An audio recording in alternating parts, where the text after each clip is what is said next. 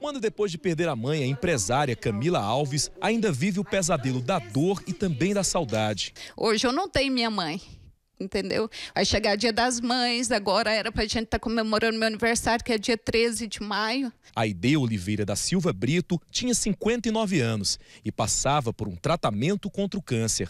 Ela foi morta no dia 30 de abril do ano passado na casa onde morava, na Vila Mauá, aqui na capital.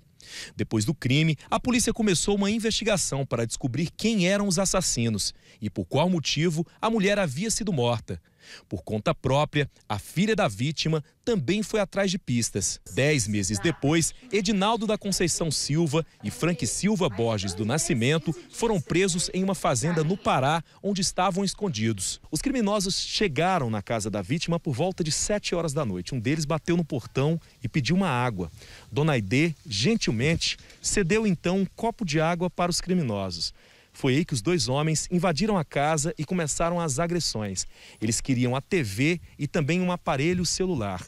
Os dois mataram a dona Aide por volta de 7 horas, 7 e 10. Mas só voltaram na casa duas horas depois, por volta das nove da noite, para buscar os objetos, a TV e também o celular.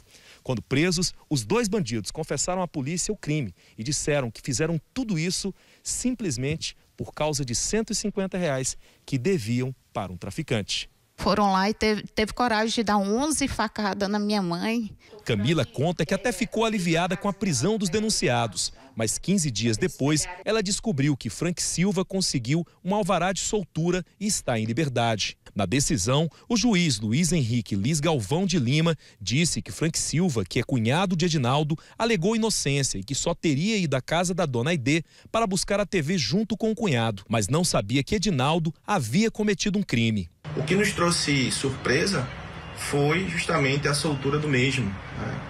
já que em determinado momento eles foram presos juntos. Então fica a pergunta: se o senhor Frank Silva não tinha nada a ver, por que né, fugiu também? A família contratou um advogado no Pará. Agora, um novo pedido de prisão preventiva para Frank Silva será feito. O caso corre em segredo de justiça, mas estamos analisando algumas informações, principalmente em relação ao senhor Frank Silva, para ver a possibilidade de requerermos, uh, de trazermos aí essa questão da representação de prisão preventiva contra o mesmo. Mais uma vez, Camila vive o pesadelo de tentar colocar na prisão o homem denunciado de participação no assassinato da mãe dela. A única coisa que eu quero é justiça. E enquanto eu tiver força e fé, eu vou lutar. Você sabe que eu vou lutar até o fim.